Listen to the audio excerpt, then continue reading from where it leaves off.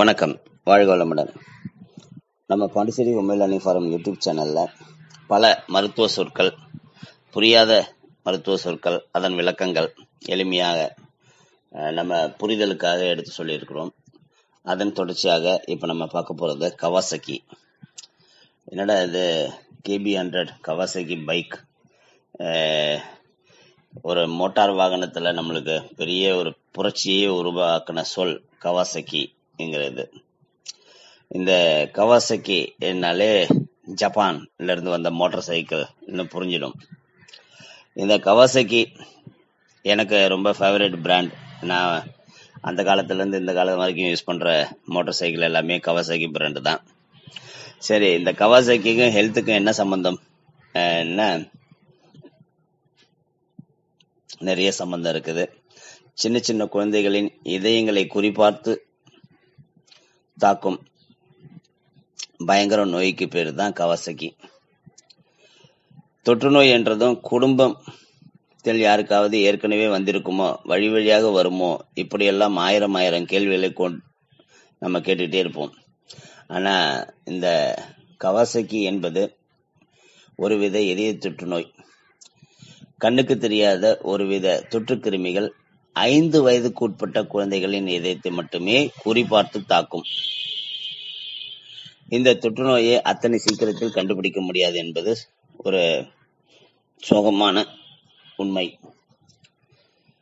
அதனால திடீர் திடீர்னு குழந்தைகள் ஐந்து வயதுக்கு கீழே இருக்கும் குழந்தைகள் இறந்து போகும்போது நேத்து வரைக்கும் நல்லா தான் இருந்தது புள்ள. திடீர்னு செத்து போச்சு என்கிற வார்த்தைகள் சொல்லி புலம்புறத நம்ம அடிக்கடி பார்ப்போம். அதுக்கு காரணமா இருக்கிறது இந்த மாதிரி கவசகி மாதிரியான தொற்று நோய்கள் தான் குழந்தைக்கு கவசகி தொற்று நோய் கிருமி தாக்கி இருக்கிறது என சந்தேகம் ஏற்பட்டதும் உடனடியாக சிகிச்சை எடுத்துக்கொண்டால் கண்டிப்பா மரணத்தை ஜெயிக்கலாம் சொல்றாங்க. இந்த கவசகி தொற்றுநோய் கிருமி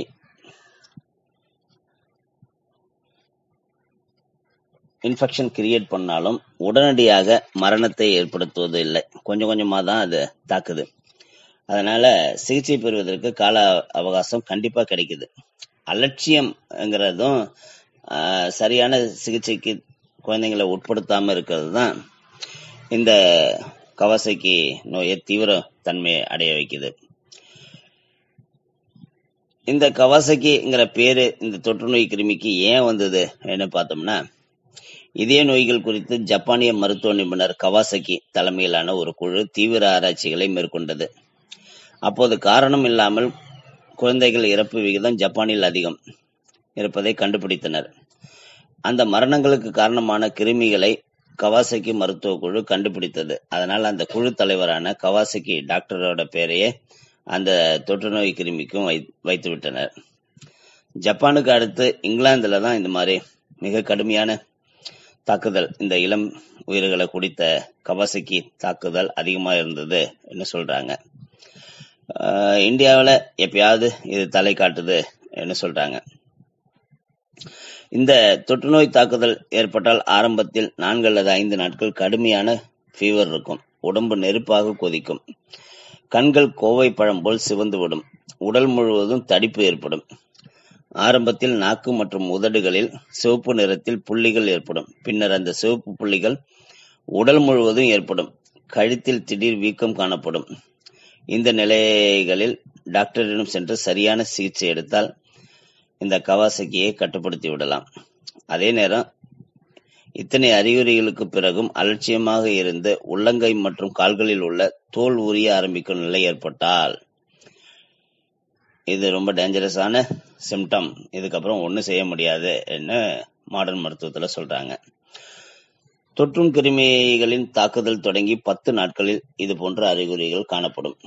இந்த நோய் தாக்குதலால் முதலில் இதயத்துக்கு செல்லும் இரத்த நாளங்கள் பெரிதும் பாதிக்கும். அதோடு இதயத்தை இரத்தத்தோடு ஆக்சிஜன் எடுத்து செல்லும் இரத்த குழாய்களில் வீக்கம் ஏற்படும். இந்த இன்ஃப்ளமேஷன் சீரான பிளட் சர்க்குலேஷனை தடை ஏற்படுத்திவிடும். அதனால் ஹார்ட்டுக்கு தேவையான அந்த ஹார்ட்டை இயங்க வைக்கக்கூடிய ரத்தமும் அதுக்கு தேவையான ஆக்சிஜனும் கிடைப்பதில் ரொம்ப சிரமம் ஏற்படும். மேலும் மேலும் வீக்கம் அதிகரிக்கும். இந்த நிலை தொடர்ந்து ஒரு கட்டத்தில் இரத்த குழாய் முழுவதும் அடைப்பு ஏற்படும். அதன் பிறகு திடீர் என்ன டெத்து சம்பவிக்கும் சொல்றாங்க. பல குழந்தைகளுக்கு இந்த தொற்றுநோய் தாக்கி தானாகவே சரியாகிவிடும். அதனால குழந்தைகளுக்கு நோய் எதிர்ப்பு சக்தி இருந்ததுன்னா இந்த வைரஸையும் இந்த பாக்டீரியாவும் எதிர்த்து நிற்கும். உடம்புல இருக்கிற இம்யூனிட்டின்னு சொல்றாங்க. பெரும்பாலும் குழந்தைகள் குறிப்பிட்ட கால இடைவெளியில் சரியாக மருத்துவ பரிசோதனை செய்து கொள்வது அவசியம். அந்த குழந்தையோட ஆக்டிவ்னஸை பொறுத்து நம்ம கண்டுபிடிச்சிடலாம். ஆரோக்கியமா வளர்க்குறோமான்ட்டு இந்த குழந்தைங்களை மட்டும் தாக்கக்கூடிய கவாசக்கி ஏன் குழந்தைங்களை மட்டும் தாக்குது? ஒரு ரிசர்ச் இன்னும் நடந்துட்டே இருக்குது. இந்த தொற்று நோய் எப்படி வருகிறதுங்கிற வே ஆஃப் கம்யூனிகபிள் டிசீஸாகவும் இத கண்டு சரியா கண்டுபிடிக்க முடியல. எந்த கேரியர் மூலியமா இது வருதுன்னு அதனால எந்த மர்மம் நீடித்தாலும் குழந்தைங்களுக்கு ஆரோக்கியத்தை மீட்டெடுப்பதில் முதன்மையான மருத்துவம் என்ன சொன்னா அது ஹோமியோபதி மருத்துவம். மறுபடியும் சொல்றேன் எல்லா ஹார்ட் சம்பந்தப்பட்ட பதிவுலையும் நான் சொல்றது. ஹார்ட்ங்கிற ஒரு உறுப்புல ஏற்படக்கூடிய அனைத்து நோய்களுக்கும் முதன்மை மருத்துவம்னா அது ஹோமியோபதி மருத்துவம்.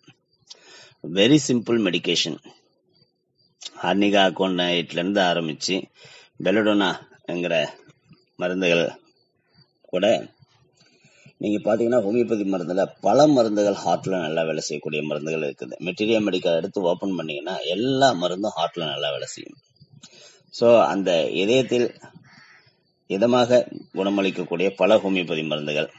நான் மறுபடியும் மறுபடியும் சொல்லக்கூடிய மருந்துன்னா அது R two R three just ரெண்டு மருந்தை வாங்கி யூஸ் பண்ணி பாருங்க. நீங்க ஹார்ட்னு எழுதிட்டு எந்த ப்ராப்ளத்தை வேணாலும் எழுதுங்க. அதை தீர்த்து வைக்கக்கூடியது இந்த இரு மருந்துகளும் மிக அருமருந்துகளாக பயன்படக்கூடிய மருந்துகள். ஜெர்மன்ல இருந்து இம்போர்ட் ஆகி வரக்கூடிய மருந்துகள். இது இல்லாம குறிகளுக்கு தேவைப்படும் கூடிய மருந்துகள். அந்த குழந்தை அந்த நேரத்துல என்ன சிம்டம் த்துக்கு உட்படுறாங்க என்ன பார்த்து சில தனி மருந்துகளும் கொடுத்து எந்த நோயில்ல எந்த நோயையும் விரட்டக்கூடியது ஹோமியோபதி மருத்துவம். அதனால நல்ல மருத்துவத்தை நாடி நலம் பெறுங்கள். வாழ்க வளமுடன் வாழ்க நலமுடன். இந்த மாதிரி ஹெல்த் ரிலேட்டட் பதிவுகள் உங்களுக்கு தொடர்ந்து கிடைப்பதற்கு Pondicherry homeo learning forum YouTube சேனலை சப்ஸ்கிரைப் பண்ணுங்க கமெண்ட் பண்ணுங்க. உங்க நண்பர்கள் உறவினர்களுக்கு இந்த பதிவை ஃபார்வர்ட்